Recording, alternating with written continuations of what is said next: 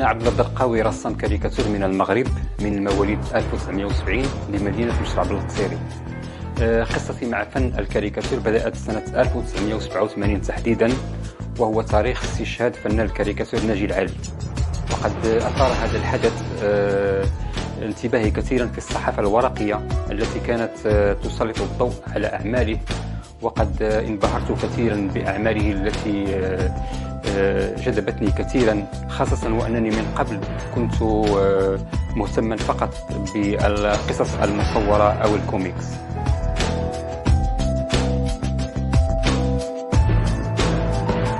البداية كانت من خلال التحاقي بمجموعة من كبار فناني الكاريكاتور المغاربة الذين شكلوا النواة الأولى لفن الكاريكاتور بالمغرب.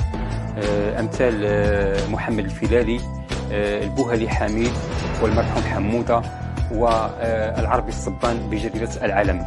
هذا الفنان الذي كان لا يبخل علي بملاحظاته وتوجيهاته في هذا الفن. المحطة الأولى كانت من جريدة آه، الأسبوع الضاحك التي كانت تصدر في آه، أواسط الثمانينات. آه، بعدها جاءت تجربة أنوال اليومية.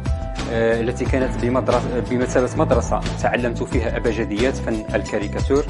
بعدها انتقلت إلى جريدة بيان اليوم لفترة قصيرة ثم التحقت بجريدة الصحراء المغربية اليومية التي عرفت خلالها آه، آه، استقرارا فنيا وإبداعا متميزا. الناحية التقنية ما زلت متمسكا بالاشتغال بالقلم والورقة آه، لكن إكراهات العمل الصحفي اليومي وما تتطلبه من سرعة في الإنجاز فإنني أستعين بالكمبيوتر للتلوين فقط.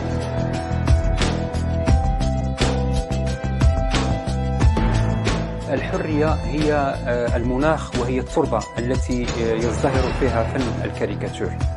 فكلما أعطيت فنان الكاريكاتور آه، حرية أكبر كلما حصدت إنتاجا فنيا أكثر.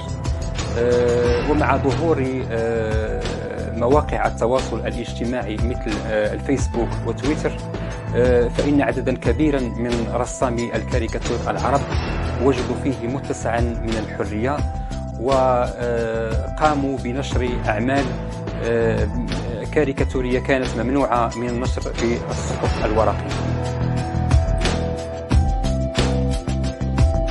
اهتمامي بالقضية الفلسطينية نابع من اهتمامنا كمغاربة بهذه القضية التي تعتبر من أكثر القضايا العالمية التي تعرضت للظلم ولأنها أيضا مفتاح السلام في الشرق الأوسط.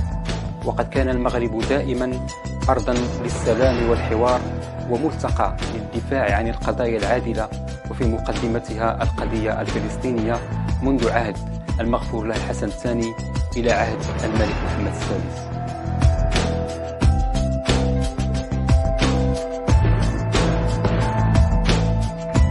خلال مساري آه، الفني آه، حصلت على عدة جوائز بدأت بجائزة آه، الفنان ناجي العلي التي أقيمت في لندن سنة 1993 وسنة 2005 جائزة الصالون الفرنسي للإعلاميات بباريس وسنة 2006 جائزة إيران كارتون وسنة 2012 حصلت على جائزة الفنان الكبير جلال الرفاعي من طرف ملتقى الإعلاميين الشباب. وعلى الصعيد الوطني حصلت على عدة جوائز وتكريمات كان آخرها تكريمي من طرف المنتدى العربي السادس بفاس السنة الماضية.